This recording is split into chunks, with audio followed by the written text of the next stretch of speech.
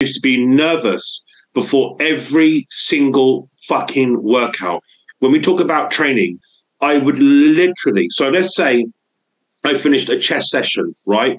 Until that next chest, chest session next week, on my mind was every lift that I'd done, how I felt, what I'm going to do next time. Why?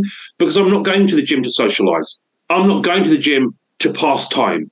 I'm going to the gym to fucking perform better.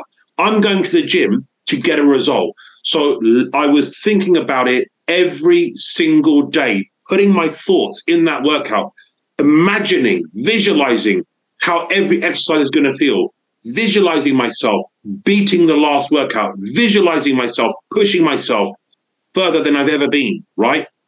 And this becomes a way of being. It really does, because your mind's intrinsically there to the point where when you get to the workout, you've already fucking done that workout a thousand times in your head. That's how